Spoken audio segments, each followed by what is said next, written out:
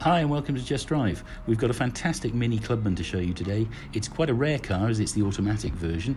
It's in exceptionally good condition inside and out. It's a 2016 Mini Clubman 2 litre Cooper diesel automatic. The Clubman is a very spacious and practical Mini, but you still get all the fun of the typical go-kart handling you can expect from the Mini range. This one's finished in melting silver metallic. It's a lovely paint finish. Comes with 17 inch black net alloy wheels and has quite a few upgrades as well. We've got full cross punch leather upholstery. Also has the chili pack. There's front and rear parking sensors. And the black bonnet stripes are also an upgrade on this model.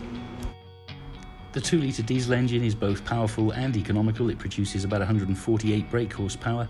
Uh, on a motorway run, you can expect around about 74 miles per gallon, according to Mini. This desirable model also features a touchscreen multimedia system with navigation. It's got three stage electrically heated seats, dynamic select drive modes, and Bluetooth connectivity for multiple devices. There's also some colour select ambient lighting. So I hope you've enjoyed a quick look at this fantastic automatic Mini Clubman. The car is in stock and available, so if you'd like to arrange a viewing, please get in touch with us.